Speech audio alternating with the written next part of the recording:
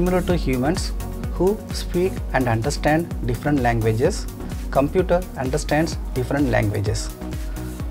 Computer languages can be software or web languages including Python, Visual Basics, C++, Java, Alice, XML, HTML and PHP among others.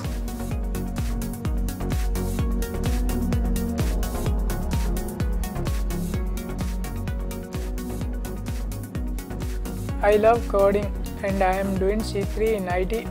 I want to be a civil engineer. I really enjoy the time I am learning at Cyryx College.